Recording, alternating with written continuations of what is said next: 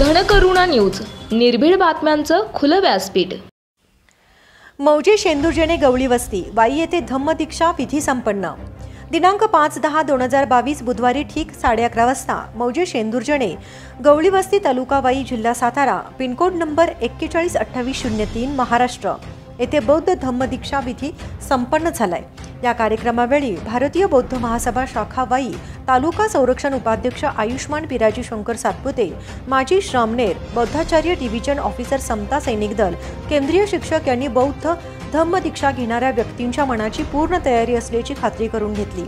धम्मदीक्षेच्या प्रवेश अर्जावर स्वाक्षरी घेऊन भगवान बुद्ध व डॉक्टर बाबासाहेब आंबेडकर यांच्या प्रतिमांना पुष्पहार फुले अर्पण करून मेणबत्ती अगरबत्ती प्रज्वलित करून तीन वेळा पंचांग प्रणाम करून घेतल्यावर बावीस धम्म प्रतिज्ञा वधवून घेतल्या. वंदन त्रिसरण पंचशील दिले. आशीर्वाद. गाथा संपल्यानंतर धम्माबाबत समयोचित मार्गदर्शन केलं. स्मरणतय. अगोदर आभार मानून स्मरणतय झाल्यानंतर विधी समाप्त झाला असं जाहीर करण्यात आलं. निवृत्ती रोकडे उपसंपादक धनकरुणा न्यूज सातारा. मुख्य संपादक सचिन मोरे धनकरुणा न्यूज धनकरुणा न्यूज चॅनलला सबस्क्राईब करा लाईक करा आणि शेअर करा.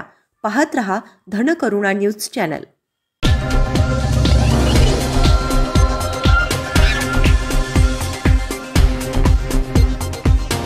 Dhankaruna news निर्भीड बातम्यांचं खुलं व्यासपीठ.